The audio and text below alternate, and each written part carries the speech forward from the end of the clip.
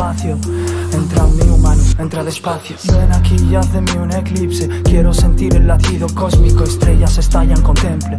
El silencio se torna orgásmico. El infinito bajo su vientre. Yo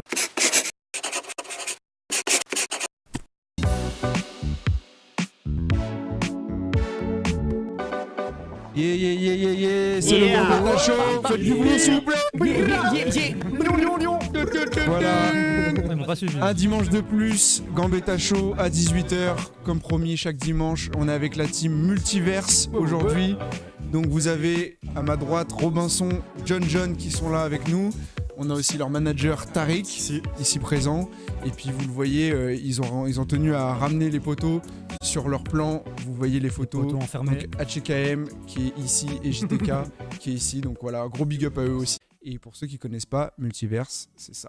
No king, no messiah, but you can't deny the truth. What? Bitch, I spit the fire. Well, I may be biased, but I've acquired. Welcome to the multiverse, multiverse.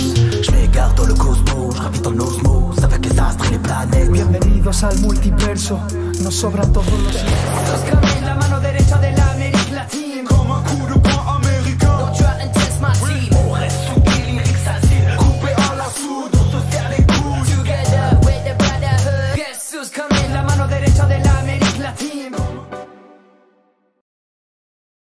Voilà, donc c'était une petite entrevue euh, du projet Multiverse et des, des différents sons que vous avez pu sortir.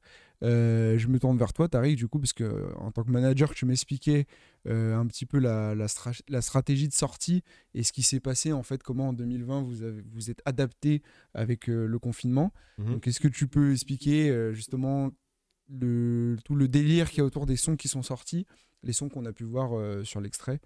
Euh, carrément. Euh, du coup, à la base, on avait enregistré cinq titres et c'était à Casa Nostra, d'ailleurs, big up à eux. Au big up à eux. Euh, et à la base, c'était quelque chose d'assez classique, j'ai envie de dire. C'était un projet qui devait sortir avec un single en, en avant, un clip, etc. Plus Yes. des release parties, quelques dates en France et à aussi avait connecté avec l'Espagne pour aller là-bas.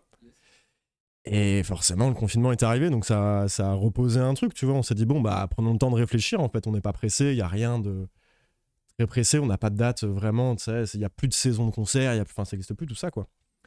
Et donc, du coup, on s'est reposé tous ensemble euh, sur Zoom, forcément. à Et, distance euh, à distance. Et, euh, et là, on s'est dit euh, que euh, ça pouvait être cool de sortir cinq singles les uns après les autres, en fait.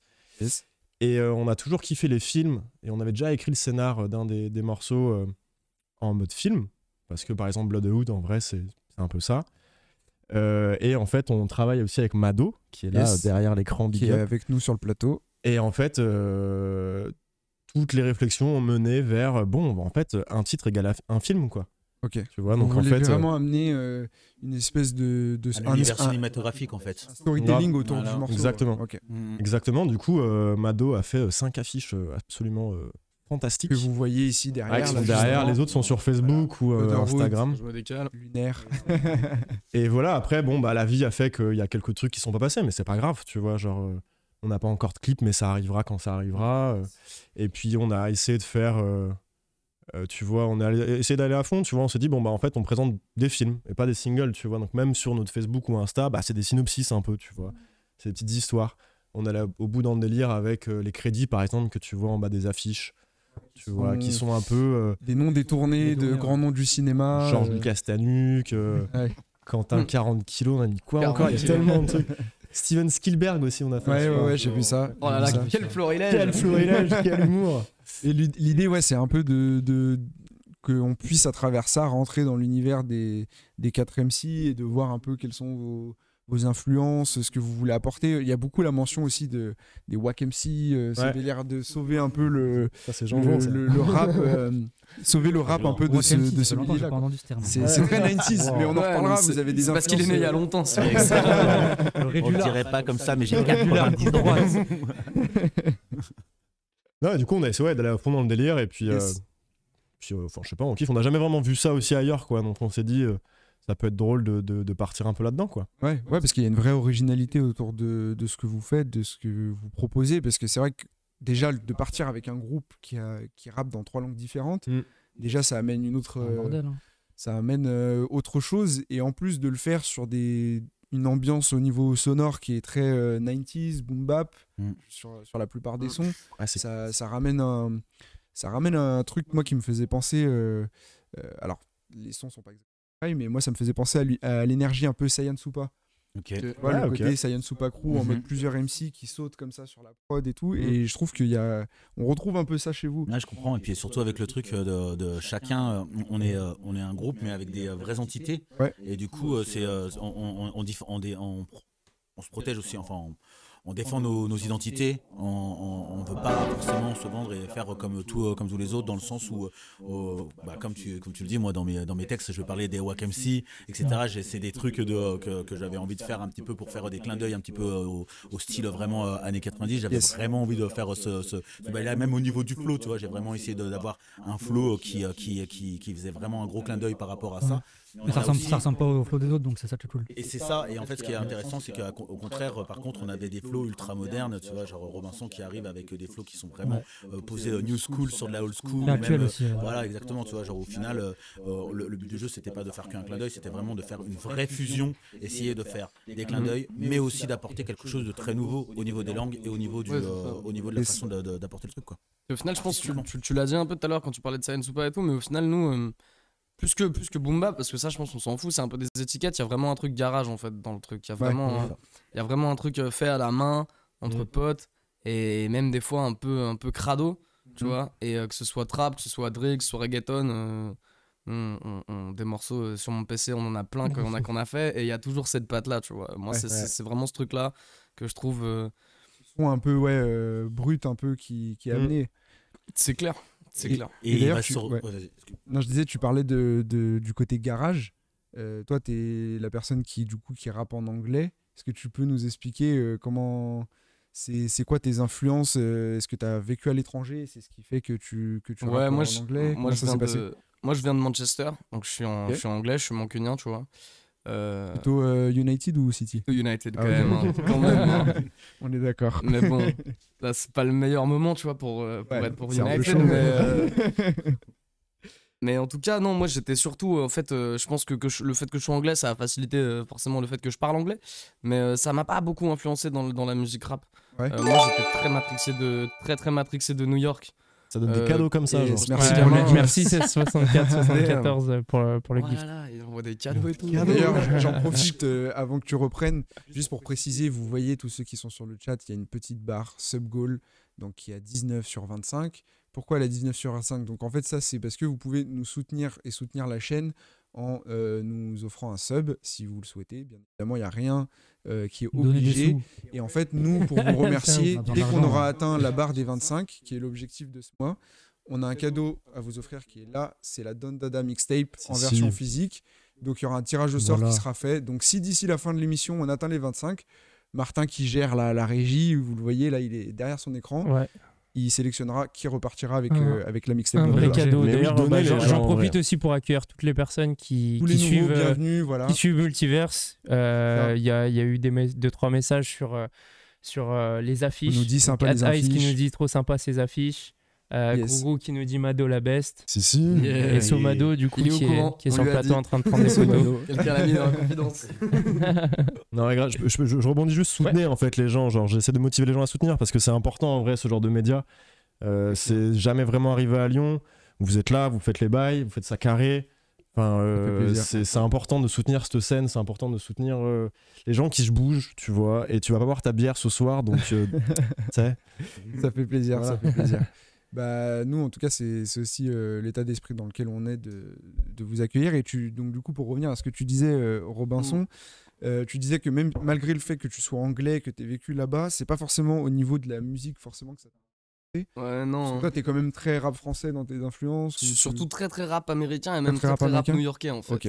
Euh, Ouais, dans... Mm. moi, les, les, les, les, les premiers trucs que j'écoutais de, de rap que vraiment je trouvais ça cool, c'était les, les, les premiers albums de Tribe Called Quest, les trucs de Biggie, de Nas, de Jay-Z. Enfin, en fait, euh, mon New York dans les 90s, New York, tu vois, tu peux, tu peux continuer longtemps.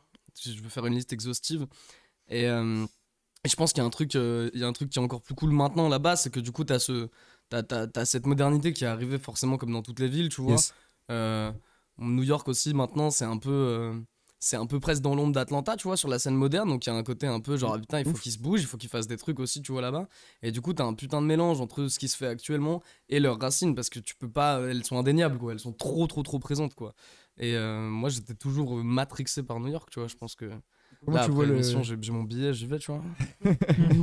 Et co- comment tu vois justement euh, l'arrivée qu'il y a eu à New York, euh, notamment Brooklyn de- Ils ont repris euh, la UK Drill un peu et refait à leur sauce pour la rendre encore plus internationale. Est-ce que c'est un truc que, que toi tu t'es pris ou tu t'es arrêté au New York que tu connaissais des, des 90s plutôt euh? Non, forcément, c'est un truc que je me suis pris. Après, même, même aujourd'hui, c'est pas forcément euh, ce que j'écoute le plus qui sort de New York, tu vois.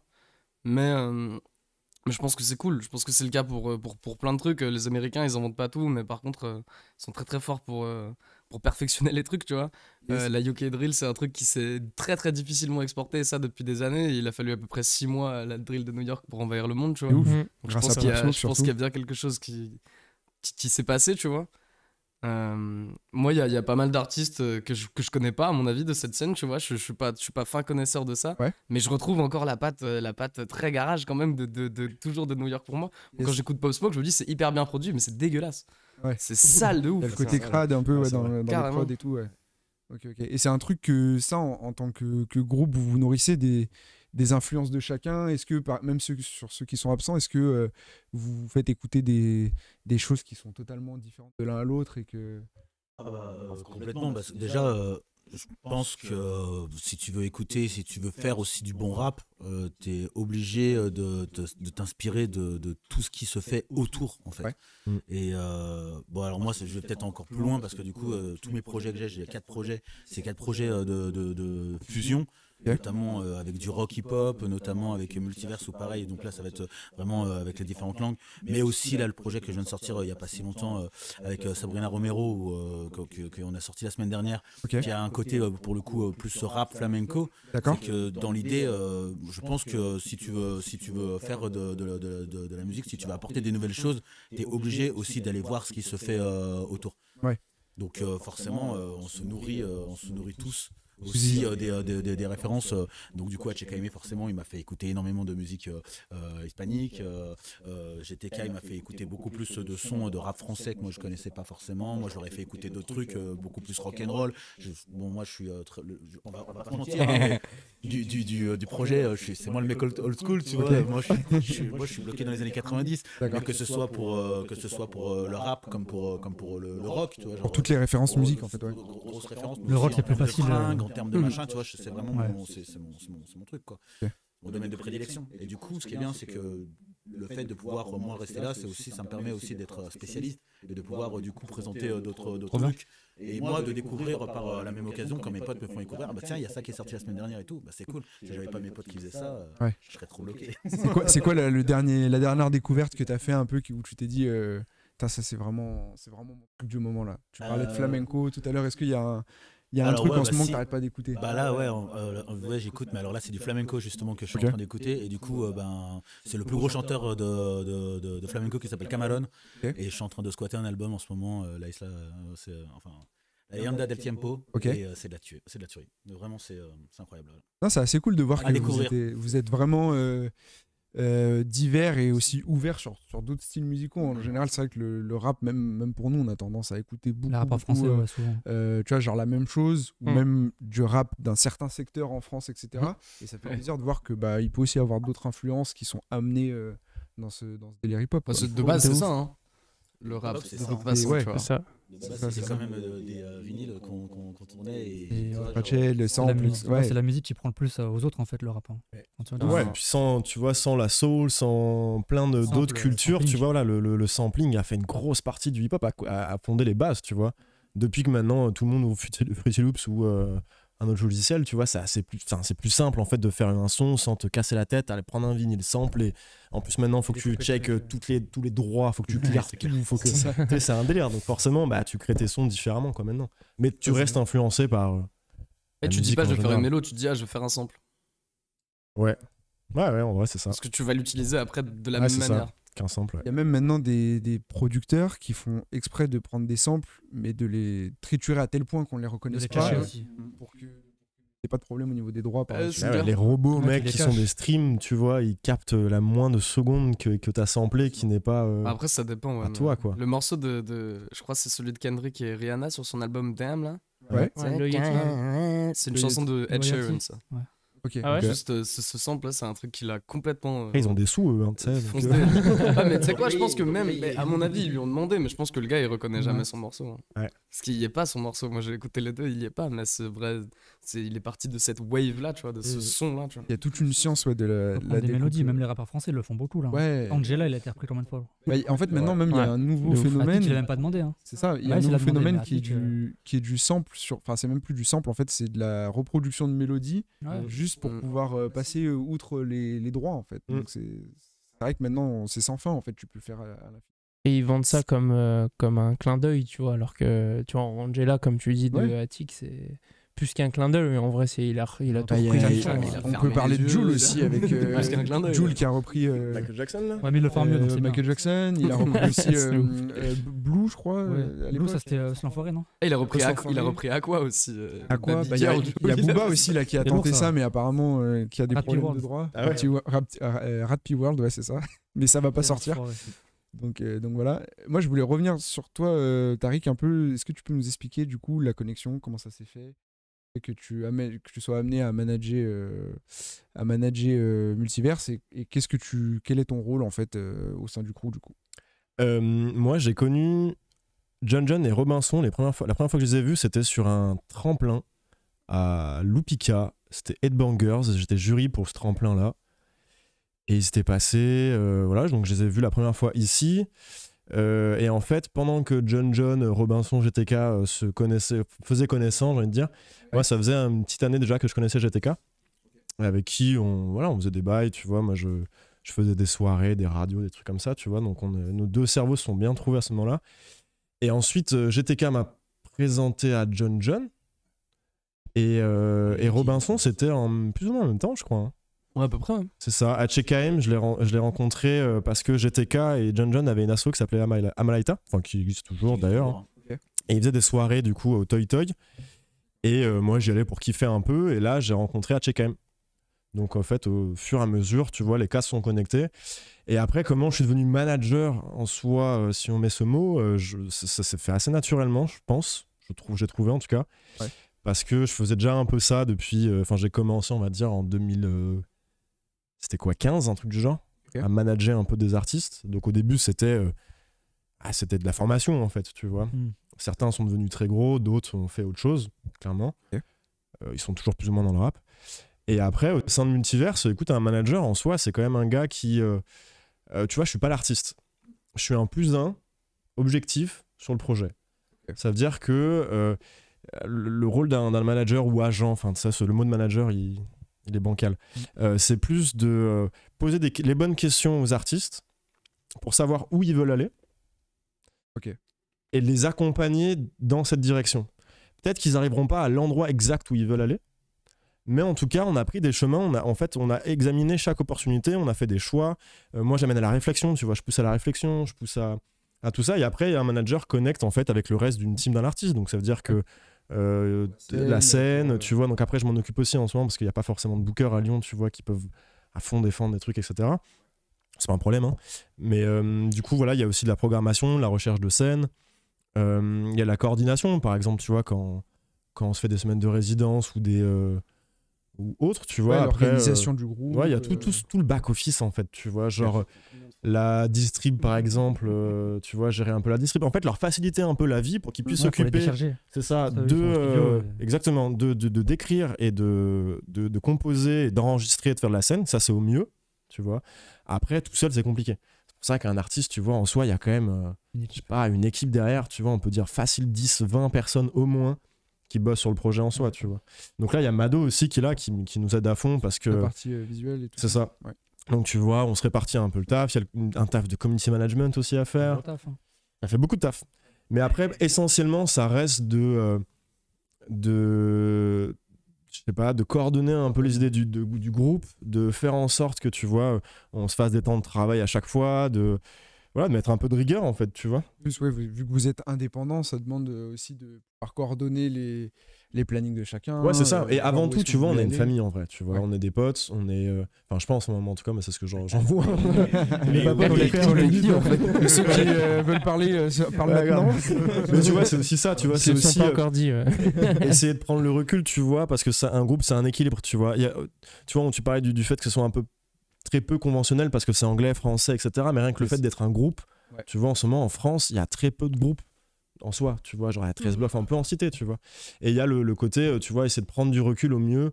Et s'il y en a un, euh, tu vois, qui a un petit coup de mou, bah, bah, on est une team, tu vois. Genre, de GTK, il, dit, il, il a, il a beaucoup de comparaisons avec les, des équipes, tu vois. Donc, on peut parler d'une équipe de foot. Ouais. Euh, L'idée, c'est que, tu vois, il y a un capitaine, mais le capitaine, il sait à qui passer le brassard s'il y a un problème. Tu vois ce que je veux dire? Le vice-capitaine. Vice-capitaine. Voilà. Il y a aussi, tu vois, on sait qui est l'attaquant, qui, enfin, tu vois, on, Ouais. On fait les plans son- de jeu, tu vois. son rôle, etc. C'est ça. Moi, en soi, je prends aucune. euh, J'essaie vraiment de prendre aucune décision. C'est les artistes qui prennent les décisions. tu Mais t'es vois. la personne qui a le recul nécessaire en gros pour les, enfin, les orienter vers ce que eux ils souhaitent faire. C'est ça. Et de leur dire, oh, les gars, il y a telle opportunité. Moi, je leur explique à fond. S'ils me disent non, tu sais, c'est pas grave, tu vois. Genre, moi, je vais on va euh, discuter, tu vois, de pourquoi oui, pourquoi non, etc. Après, c'est leur choix, tu vois. C'est pas. Et longue vie à, à leur choix, j'ai envie de dire. je, voilà, je pense avoir répondu plus ou moins, quoi. Ouais, non, non, non, je pense que c'est. On peut, on peut aussi rebondir du coup sur euh, ton, ton activité euh, en dehors euh, de, de Multiverse, parce que tu es quelqu'un, même j'ai pu, j'ai pu voir sur les réseaux en te, en te suivant sur Instagram, qui est assez actif pour proposer de la valeur à la scène locale. Mhm. Parce que je pense que ça soit même pour tout le groupe, vous avez une grosse connaissance de la scène locale, vous la. L'avez bien expérimenté, on va dire. euh, avec- tu parlais des jam sessions, des Ouais. open mic, etc. Ouais, et puis en plus, on a été organisateurs nous-mêmes, donc Ouais. euh, du coup, Ouais. on a rencontré aussi euh, les, les acteurs, euh, quelques acteurs quand même de- dans, dans le milieu. Ouais. Et euh, c'est sûr que forcément, bah, maintenant, on commence un peu à connaître le- les bails. quoi. Les, les- les ficelles en fait du, du milieu, quoi. C'est ça. Et, et du coup, justement, ce ce qui, ce que je trouvais assez intéressant euh, chez toi dans, dans les stories que je pouvais voir, c'est que tu, tu posais la question, en fait, pour les artistes indépendants, de quoi ils auraient besoin et Mm. comment, euh, comment est-ce que tu pourrais euh, leur venir en aide en euh, les aiguillant vers, euh, alors ça peut être vers un média, Mm. proposer une résidence artiste dans, dans tel lieu, etc. Donc ça, ce, ce rôle-là aussi, t'es venu naturellement, en même temps que tu t'es inséré dans, dans, dans le milieu hip-hop du côté artistique. C'est quelque chose que tu as fait aussi dans le, dans le côté associatif par ailleurs? Exactement. Moi, j'ai commencé en 2015. J'ai commencé à Mediatone. Genre, Ouais. euh, je sortais, enfin, je, je, je, je- pas, je suis pas sorti d'études, j'ai fui les études, genre, vraiment. Je suis rentré à Lyon. Moi, je suis né à Lyon, donc tu vois, c'est ma ville, tu vois, c'est- c'est c'est mon cœur, on va dire. Lyonnais 100%. Exactement, né à l'hôtel du RPZ. Euh, et du coup, on a monté une asso qui s'appelait Bambooks avec un collègue. On était moitié culture jamaïcaine, moitié hip-hop. Et, euh, et en fait, dans l'évolution du, du, du projet Bambooks, c'était surtout de donner des outils aux artistes émergents parce que ça partait d'un constat où il y avait un, un fossé, en fait, entre les pros à Lyon. Ouais. Ce que je veux dire, les pros, c'est les, les promoteurs de tournée, les diffuseurs, etc., etc. Et la scène émergente, ça veut dire le mec qui sort de chez lui, il dit vas-y, moi je veux rapper, où est-ce que je vais en fait, tu vois?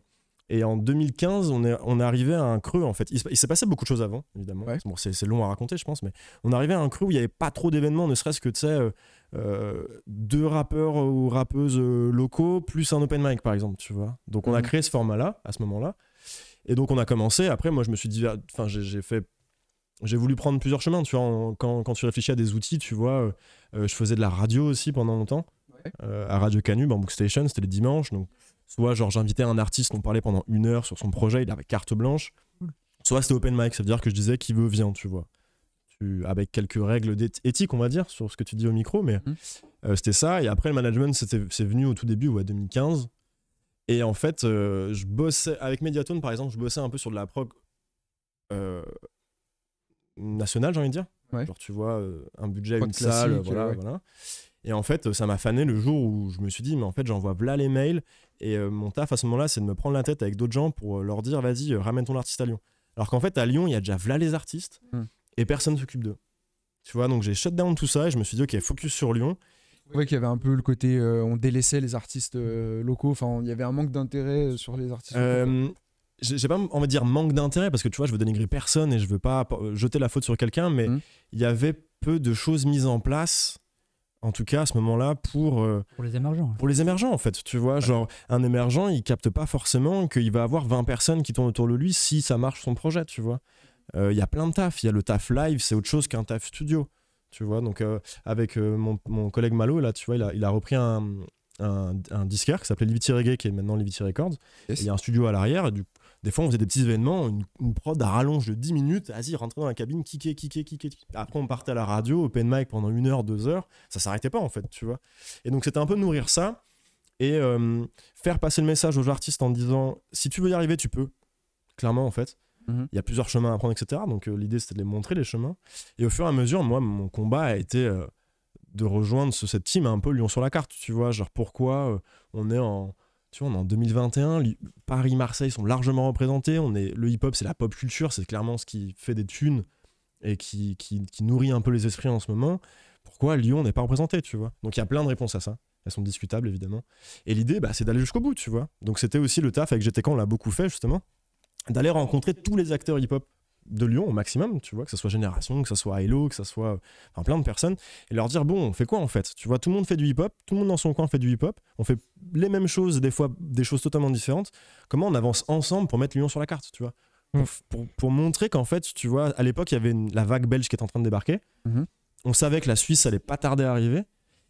Et depuis, on va dire qu'avec tous les acteurs un peu de Lyon qui se prêtent à ça, à l'émergence de Lyon, c'est un peu, une, pour moi, je l'imagine comme une tornade lyonnaise en fait. Tu En vois sachant que il y a, dans ce que tu dis, euh, pour préciser, c'est que il y, a- il y a toujours eu un vivier à. Lyon en fait. Ah, c'est juste qu'on mettait pas la lumière dessus, clair. mais il a toujours été là. Tu vois, genre les beatmakers à Lyon, ça fait un moment qu'ils sont hal, tu vois, euh, qui, qui, qui placent euh, un peu de partout. Euh, Il y avait aussi, tu vois, à l'époque de l'original, euh, on avait une scène hip-hop qui était folle, tu vois. Euh, on a eu quand même des, des événements hip-hop assez fous dans Lyon, tu vois. On a eu l'animalerie, faut pas oublier qu'ils sont toujours là. Euh, la culture hip-hop à Lyon est quand même là, tu vois. Genre Mhm. DJ Fly dans le scratch, il a tout pété, c'est clairement le meilleur au monde, tu vois, de des titres qu'il a en tout cas. Euh, Lilou en danse, il a monté Street Yes. Off, gros bordel, tu vois. Mais tu vois, le constat euh, de base, il est euh, bon, bah en fait, quand t'es un artiste rap à Lyon, un, une artiste évidemment, euh, où tu vas Tu vois, quelle structure peut vraiment t'encadrer à 100% tu vois, pour euh, t'accompagner. Tu vois, c'est quoi l'attaché de presse, c'est quoi le booker, c'est quoi euh, la distribution, c'est quoi euh, la résidence scénique, etc. Donc il y a Mhm. plein de structures qui font plusieurs petites parties de ça, tu vois. Mais on n'a pas hérité, tu vois, comme Paris et Marseille de. C'est un peu de- trop éclaté en fait. Ouais, c'est ça. Tu vois, Paris et Marseille ont vite capté, enfin vite capté. Encore une fois, je veux pas dénigrer ce qui a été fait à Lyon, mais on, on capté que, ok, on commence à faire des tunes avec le rap. Bon, bah on monte des structures, on forme la relève. Ouais. Tu vois ce que je veux dire? À Lyon, malheureusement, c'est jamais vraiment arrivé. Avec les mentalités aussi. Bah, à Lyon, on, est, on aime bien être dans nos chambres, tu vois. On aime bien faire nos bails solo, fierté. tu vois. Il y a une fierté de ouf. Mais cette fierté-là, ça sera la force de Lyon plus tard. Tu vois Ouais. dans le sens, Pour moi, je le vois comme ça, dans le sens où euh, Ça prendra peut-être plus de temps, mais une fois que ça arrivera. ah, ça va être violent. Ah, ça prend du temps quand même. Non, mais ça prend du attend, là, temps parce que regardes, tu vois, il y, a- il y a plein de problématiques, tu vois. Et- les gars. dans les stories, tu vois, la question c'était ça, tu vois, c'est, tu vois, ces questions-là, personnellement, je me suis déjà posé il y a un moment, euh, avec GT notamment, tu vois, pour écrire une sorte de boîte de prod où, vas-y, on va se dire, ok, on fait les choses. Covid est passé par là, évidemment, ça change des bails. Mais l'idée de, de, de, ce début d'année, là, dans les stories que j'ai faites, c'était, euh, bon, ok, on en est où? On fait un état des lieux, est-ce que c'est le même que la dernière fois? Est-ce que c'est pire, tu vois? Par exemple, là, il y a un, nouveau constat, c'est que avec Covid, enfin, avec la Covid, le Covid, bref, euh, les gens sont encore plus dans leur chambre et un peu plus isolés. Tu vois, donc comment ils vont les rencontrer des gens pour se développer dans le rap ou le hip-hop à Lyon? Tu vois, c'est un peu plus complexe. Donc, euh, aller créer des outils, en fait, tu vois, et aller chercher un peu les gens qui font les choses, genre vous, tu vois, c'est trop lourd. Un média comme ça, tu vois, c'est sur Twitch, euh, euh, vous commencez à, vous faire, à faire Nous, on du bruit, attend, tu vois. bah, ils vont arriver au fur et à mesure, mec. Je suis sûr qu'il y en a plein que- qui nous regardent, qui ont grave envie d'être là, tu Ça, vois. en sachant que gros, gros big up à tous ceux qui évidemment font, sont déjà là et font et ou sont passés soit dans l'émission ou passeront dans l'émission. Euh, parce que l'idée évidemment c'est c'est pas de dire que ne pas Non. ou qu'on- qu'ils font pas assez de bruit. C'est aussi à nous et c'est un peu le l'objectif pour répondre à une des questions du chat de, de Frodon euh, Frodon Si, si, 691 Frodon. qui nous dit euh, quel objectif pour la scène lyonnaise en ce moment? Euh, je, te, je te- je te laisserai apporter Je ta réponse euh, là-dessus. Ça fait plaisir que tu sois là, mon copain. Mais, mais l'idée, eff- effectivement, c'est de mettre la lumière sur ceux qui font déjà bien les choses, parce qu'il y en a énormément, en fait. Exactement. Et, euh, et je vais partir d'un point en disant que, tu vois, nous, là, je pense autour de cette table, euh, dans, dans, dans, ce, dans ce lieu, on est la génération qui. On, on a grandi avec le hip-hop. Tu vois ce que je veux dire? Les personnes qui font les choses actuellement, tu vois, ceux qui gèrent les salles de concert, les grosses structures, etc., ont grandi avec le rock. Parce que c'est la pop culture à l'époque. C'est pas un mal, tu vois. C'est juste qu'on arrive sur un tournant, tu vois. Genre, on, on devient acteur de cette culture.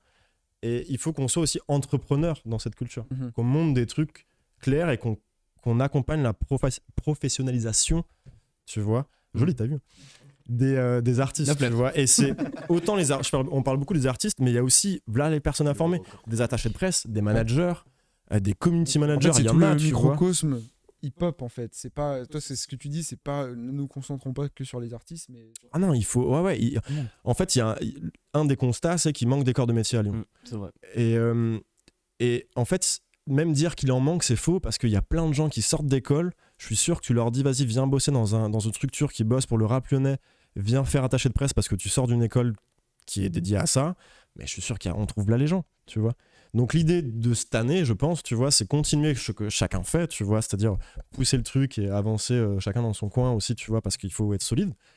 Mais il y a aussi le truc de, bon, bah, j'ai envie de faire un spoil, tu vois, mais de créer cette structure, tu vois, qui, qui va pouvoir accompagner les artistes du mieux qu'on peut. Mhm. Parce qu'il y a plein de partenaires à avoir. Les acteurs sont là, en fait. Tu vois, c'est comme si on avait tout le. On a déjà tout à Lyon. faut juste se- un peu plus se connecter Organisé, ouais. et capter ce que c'est être pro dans la musique, tu vois. Mhm. Être pro dans la musique, quand tu vas remplir ton frigo et payer ton loyer parce que tu bosses dans, le- dans la musique, bah c'est être pro, tu vois. Ouais, que tu fasses du mainstream ou que tu fasses du non conventionnel, machin, c'est pro, tu vois. Euh, donc c'est ça un peu l'idée, c'est de trouver ces gens-là et de les accompagner, de les former. Tu vois, même moi, tu vois, sur, sur le votre com, c'était écrit manager. Je moi, j'ai j'ai encore du mal avec ce mot parce que je peux même pas prétendre à être manager. Dans le sens où il me manque des formations. Tu vois, même moi, à Lyon, pour me former, j'ai du mal. Donc l'avantage, c'est que bah, je connais du monde et qu'on on, m'aiguille et qu'on on, on m'aide, forcément, tu vois. Je sens qu'il y a encore un, un travail de professionnalisation De à faire. Du en coup. fait, il y a un centre de formation global qu'il faut faire, tu vois. Genre, et il faut, faut le faire carré, on, on sait faire les choses correctement, on a les bonnes personnes pour le faire, tu vois. Euh, Allons-y, en fait. Et tu vois, de toute façon, il y a une fuite vers Paris dans tous les cas depuis des années. Donc, euh, essayons de capter un peu, tu vois, les cerveaux, les garder, euh, donner un truc intéressant à ces cerveaux. euh, et monter les bails au fur et à mesure, ça va prendre du temps, c'est sûr, tu vois. Mais on peut largement, du coup, et je finirai par ça, créer ce circuit court, en fait, Mhm. tu vois. Parce qu'il y a un-. Une, une relation Du rap pour, bio. euh, une relation pour la scène lyonnaise qui, qui, qui ait les bons outils. Ouais. Vous, vous, est-ce que par exemple euh, Robinson ou John John, vous en tant qu'artiste, est-ce que euh, déjà vous avez constaté ces, ces freins-là en étant à Lyon Et hum, vous, c'est quoi vos, vos réponses à ça? C'est de se dire, euh, on a un groupe qui vise d'abord euh, la scène comme modèle économique. Enfin, vers quoi en fait Mhm. vous- À quoi vous aspirez en tant que rap de manière professionnelle? Toute façon, je pense que de toute façon, quand tu commences, le- tu- comme tu- quand tu sais pas trop quoi faire, tu veux juste faire de la scène, mais euh, tu veux faire de la scène pas forcément pour gagner de l'argent, tu fais de la scène parce que tu veux expérimenter aussi euh, genre ton projet, tu veux voir euh, Ouais. s'il y a du répondant, tu veux voir si euh, ça plaît euh, au public, s'il y a un public euh, qui va répondre à, à tes attentes, etc. etc. Donc, euh, sans parler de modèle économique, déjà, je pense que la scène, elle est importante vraiment pour ça. Euh, Enfin, vivre ta musique de base. en Déjà, fait. juste pour faire vivre, euh, vivre ta musique. Avant de parler de professionnalisation, avant même juste de parler d'argent, euh, juste essayer de comprendre déjà s'il y a un réel, réel intérêt euh, pour ton art, etc. Après, bien entendu, ben, euh, à l'heure actuelle, euh, ça sert à rien de parler euh, de, de concerts, etc. Donc là, tout se, tout se passe de toute On peut en façon parler, hein, mais. On peut parler Ça- concerts. le Covid va passer à pas durer non chose. plus euh, éternellement. Oui, bien sûr, bien sûr.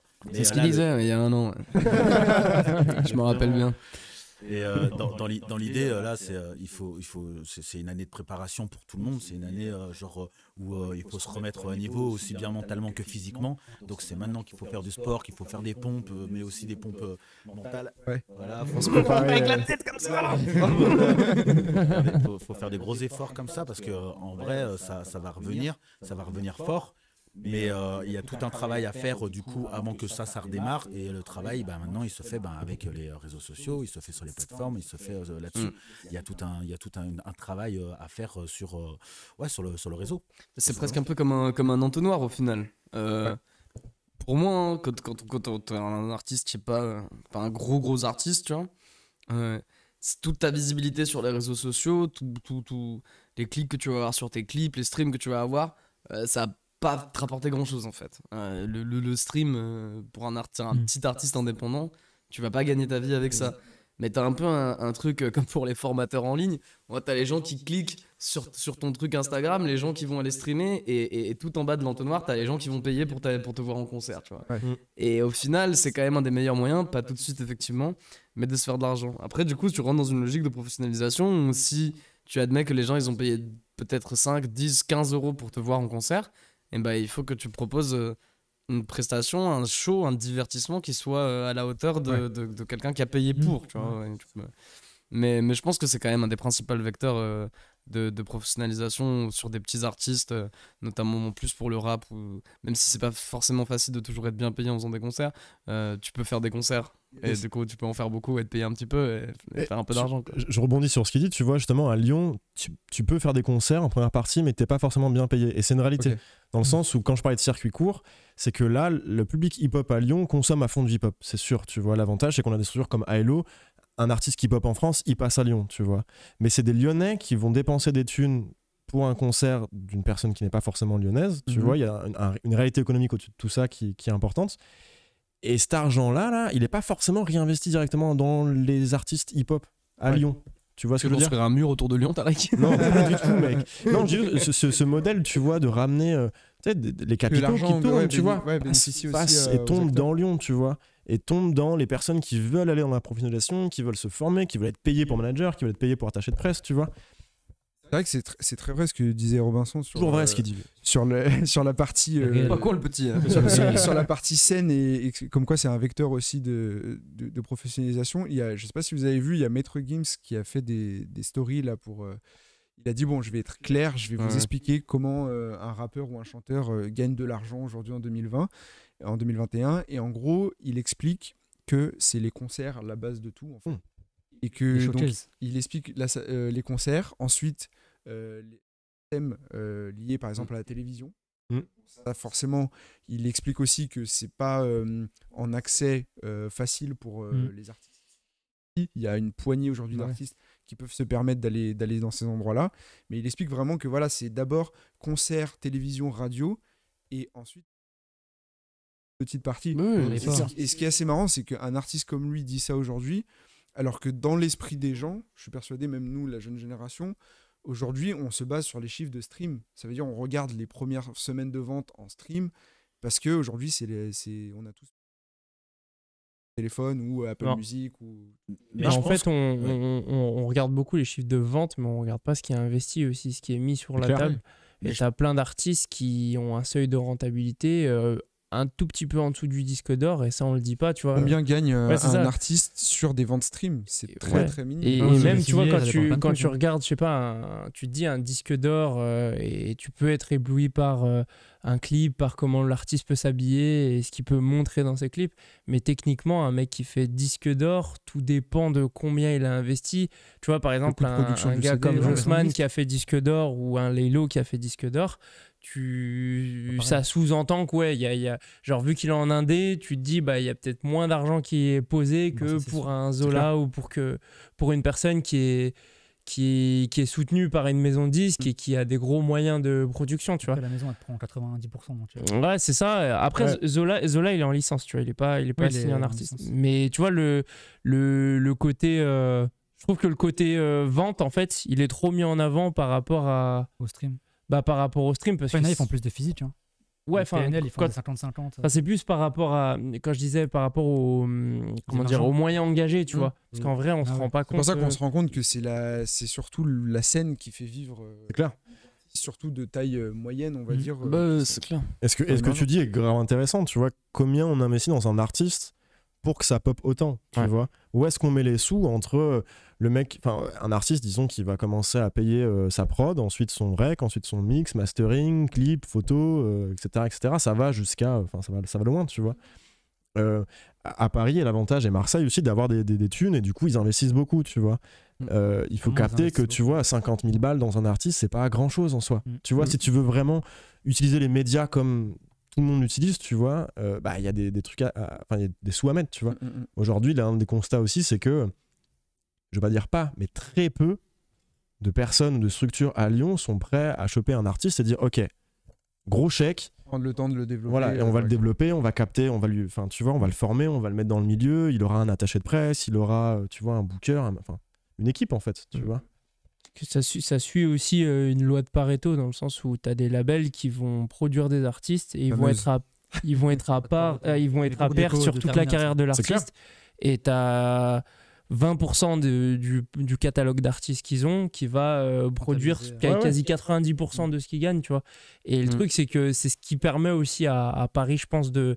de comment dire de d'être toujours frappe, plus ouais. fort et d'avoir une Mm. force de frappe c'est aussi par rapport au fait qu'ils gagnent énormément d'argent avec euh, peu d'artistes et derrière ils peuvent le réinvestir et, et prendre des risques quoi. Oui, et oui. Tu, enfin, ah, tu peux produire une tournée et savoir qu'elle va être à perte, même si Ouais. pour le public on va se dire c'est bon, ils ont percé parce qu'ils ont fait tant de salles complètes, tu vois.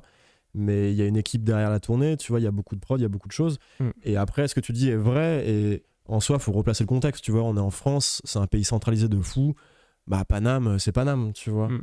Tu vas difficilement monter un business et faire en sorte que ton business rayonne dans la France sans passer par Paname un En fait, jour c'est ou le l'autre. cas ouais, pour toutes les industries. Voilà, c'est ça. Donc, Après, dans musical, le ça live, marche aussi. t'as quoi. t'as Yuma Productions qui, qui sont créés suite à, suite à IPM avec la Lyonnaise des Flots. ouais, et tu vois, le mec est lyonnais et au final, c'est le numéro 1 ou 2 de Oh, c'est le- France, tu Moi, vois. je pense que c'est le 1. ouais. Et c'est c'est chaud, tu vois. euh, C'est euh, chaud de, de voir un, un Lyonnais qui, qui arrive à avoir euh, le monopole sur son secteur, tu vois. Et parce que tu vois, c'est c'est intéressant le, pro- le- le trajet de Yuma parce qu'ils ont monté beaucoup de choses à Lyon.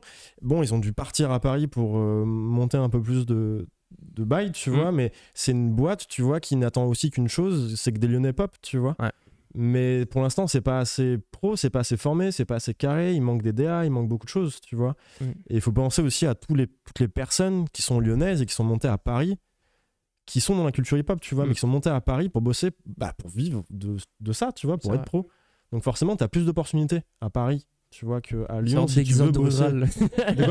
C'est une sorte, une sorte d'exode d'exode rural, pardon. Ouais, c'est une exode de cerveau pour moi, en fait, tu vois. Et le Ouais. jour où Lyon sera assez en forme et assez en place, Ils partiront plus à Paris. je pense que voilà, ils partiront plus à Paris et certains Parisiens seront sûrement, enfin certains Lyonnais à Paris seront sûrement refaits de revenir en fait à Lyon, tu vois, et bosser pour ça. C'est le moment où on fera le fameux, le fameux 6-9 organisé qui 6-9 arrivera, organisé, ouais. qui arrivera à ce moment-là.